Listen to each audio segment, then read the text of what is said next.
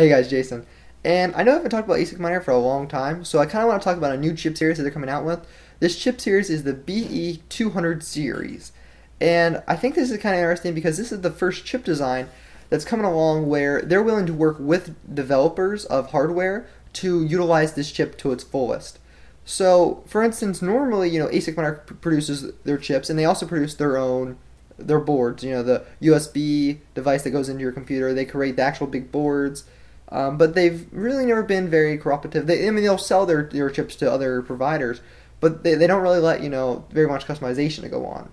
Well, they're actually very, very active right now working on different um, product management sites such as GitHub.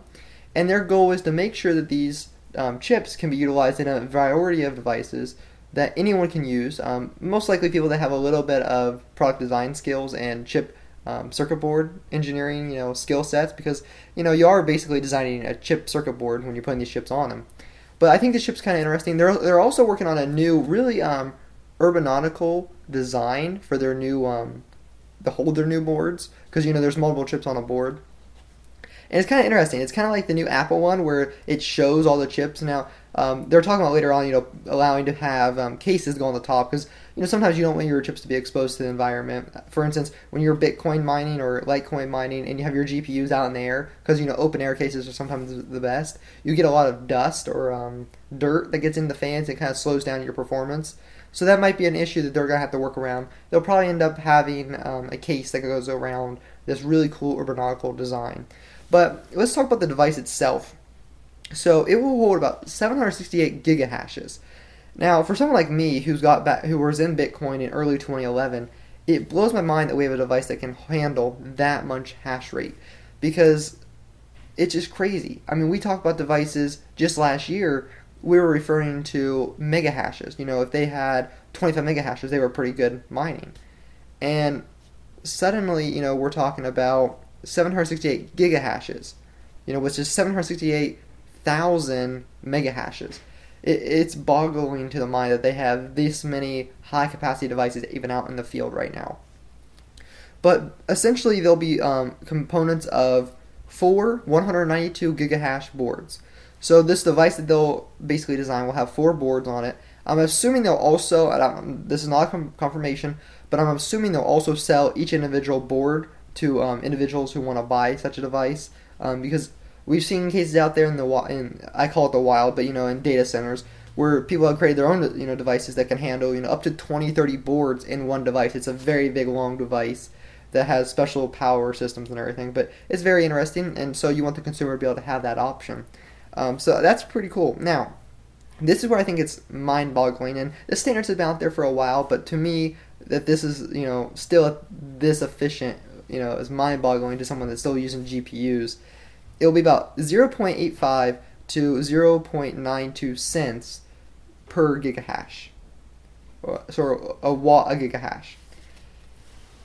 It's crazy because you know that's not even a full watt per gigahash, and it, it's crazy. So I did some calculations because I wanted to play this number out. So assuming that you're using, you know, the max, 652 to 700 so 652 at the low end using the 88 point, um, 0.85 watts all the way up to 706 watts for this device. Now you might say well man 706 watts that's a lot of wattage.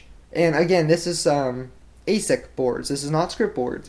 But you know so asic boards are really interesting because they use a lot less you know power um, or because they're boards versus you know a gpu mining device but to think that an entire device that mines 768 gigahashes could use only 706 watts maximum blows me away. I think that's a very, very crazy number. You know, thinking back to the days just two or three years ago when everyone I talked to was using GPUs to mine Bitcoin, and you know each device would use three or four hundred watts, and suddenly, and those would only get you know maybe two or three you know mega hashes, and the fact that this is getting so much more it blows my mind. It, it just really does.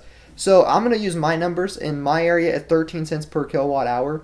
So at that, it would only cost you about $792 a year for this device to run. That's pretty good, guys. I mean, I, that's really awesome. Um, again, ASIC miner, while their shares are down to like really, really cheap, they used to, you know, back in the day, they used to be up to like 4.9 bitcoins a share, which was crazy. You know, now they're down to like 0.23, I think last time I checked, um, bitcoins a share, which is substantially substantially less. But one of the things that caused that is you have so many other players in the market right now, which obviously you know competition brings prices down. It also means that those who invested in ASIC miner in the beginning, you know, probably sold out when it was at two or three dollars or two or three bitcoins per share if they were if they were lucky. If not, you know, they're probably holding out for Gen three and four boards. So you know, the prices really went down. Um, probably a great time to buy. Although the dividends, I have to mention, are down a lot lower. Back in the day when it was higher up, the dividends used to be really, really substantial. They used to have up to uh, one time they had like twelve percent in the entire net network, and now they're down to like 0.5 percent, one percent. So again, they lost substantial amount of mining power because they're selling devices too. You know, and so it's a lot easier when you're mining to have renewable income than if you're selling boards, which obviously because of competition, the margin of profit is going to be minimal on that. But anyway, awesome device, awesome chipset. I'm kind of interested to see what other companies use this chipset and these boards if they do utilize boards if they don't make their own. What do they do with this? You know, how, what kind of devices do they make? Are they going to make devices that can hold 20 boards, or are they going to stay with the standard four to five board um, you know area because um, normally we see people try to stay around that range because they use um, because if you don't know this computers use dc power they convert the ac in your wall to dc power and essentially you have to buy dc power um, we call them pc things they're basically power the power thing that plugs into your computer i don't know exactly how to describe it just uh, just a power i call it dc power and that device allows it to convert like i said but it also is used in servers and stuff, but you're not going to get over about 1500 watts of one of these things. It's very rare and they're very expensive. I've seen a few 2000 watt ones, but that's crazy and they're very expensive. And yeah, they're to break your pocketbook. So normally when they make these, because it's a lot more complex than to tie multiple GP or not GPUs, PSUs. I'm sorry, the, the tie multiple PSUs together, you're usually constri- you know constricted to that 1500 watt um, limit, or sometimes it's even you know 1200 watt, depending on what brand you go with and you know what's your preference on PSUs. So really, when we're hitting at 706 watts with four boards, maximum you usually get is about five boards, unless you have you know we're talking about bigger boards. Sometimes they go with smaller boards, and that's always kind of interesting because the smaller boards pull less power, so you can maximize more boards.